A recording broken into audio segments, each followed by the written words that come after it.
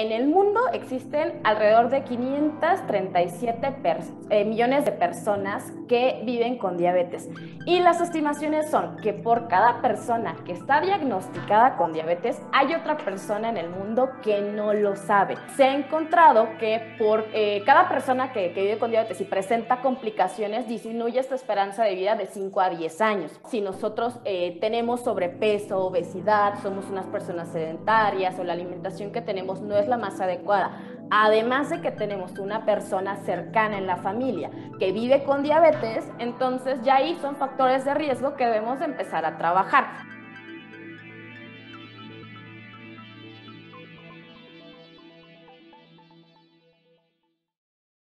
¿Qué tal? Gracias por acompañarnos nuevamente. Nos encontramos con la maestra Marian Lugo, especialista en nutriología aplicada y vocera de la Federación Mexicana de Diabetes, para seguir hablando acerca de esta enfermedad, la cual abordamos en la charla de nuestra semana pasada. Buenos días, maestra. Dígame, ¿existen estimaciones sobre personas con diabetes que no estén diagnosticadas? Hola, ¿qué tal de nuevo a todos? Un gustazo estar eh, platicando sobre este tema.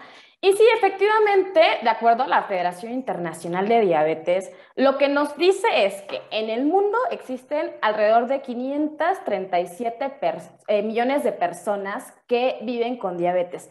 Y las estimaciones son que por cada persona que está diagnosticada con diabetes, hay otra persona en el mundo que no lo sabe. Entonces, esto nos hace aún más grave la situación. ¿Por qué? Porque probablemente el dato que tenemos va a ser mayor. Wow, pues es una cifra verdaderamente alarmante pensar que, se duplica, que se duplica el número de pacientes de esta enfermedad. Ahora, respecto a la diabetes juvenil, eh, vamos a recordar a qué grupos de edad afecta y cuáles son sus consecuencias a mediano plazo. Decía usted que este tipo de diabetes no se puede prevenir.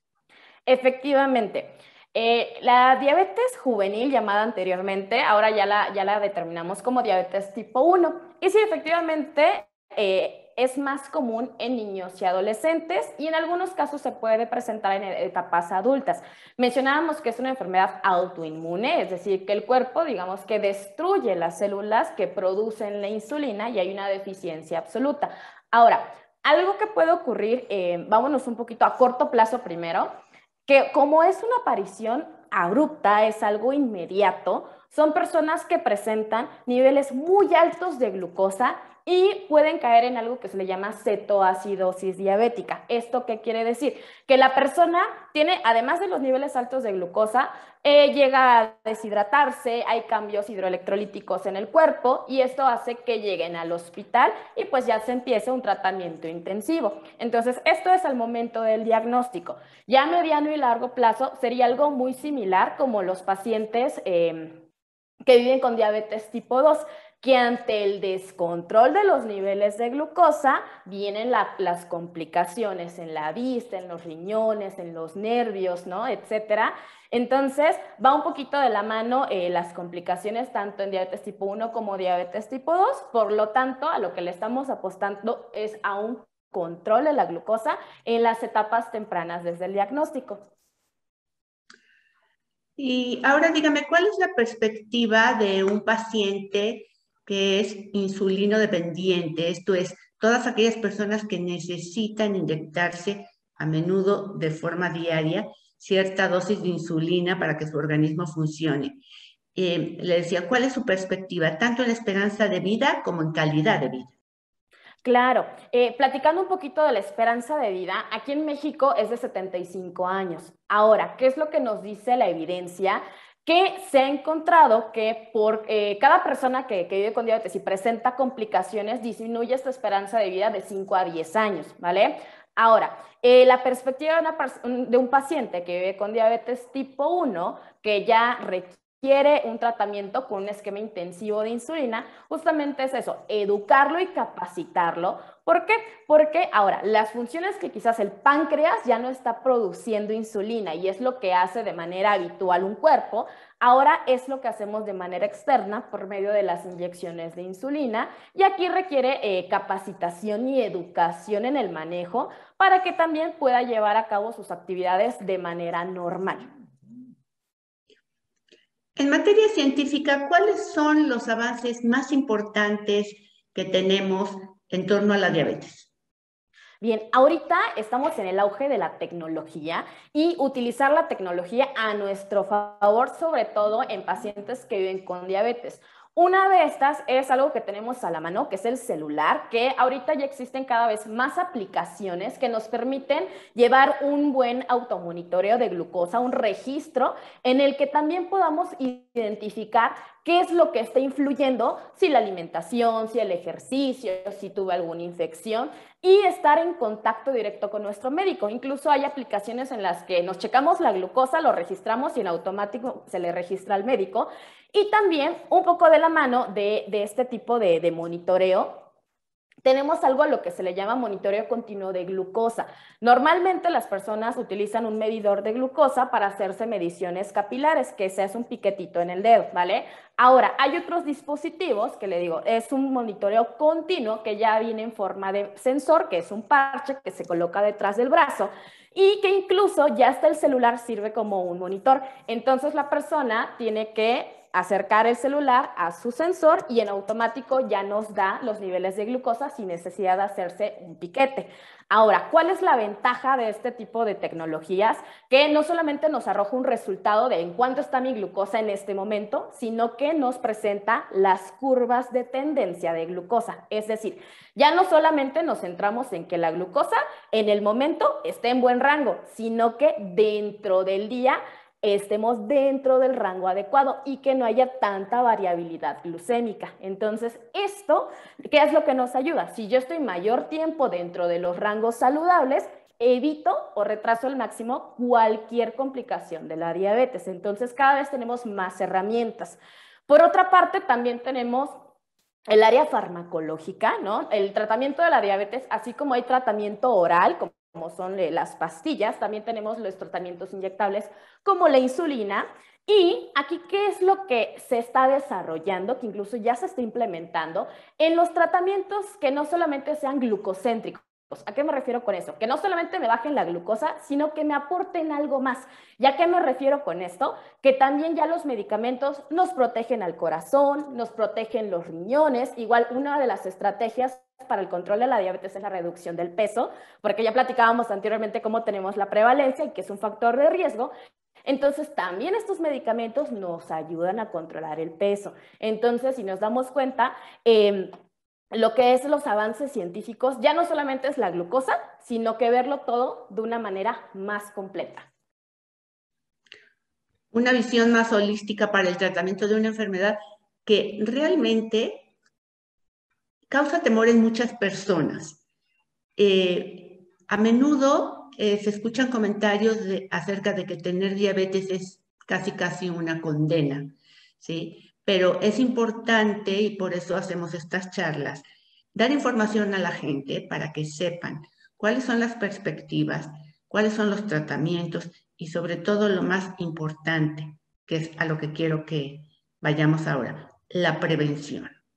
¿Cuál sería el ABC de la prevención de la diabetes? Claro, esto es algo muy importante porque ya vimos, de acuerdo a las estadísticas, las tendencias que tenemos, entonces sí es muy importante apostarle a la prevención, ¿vale?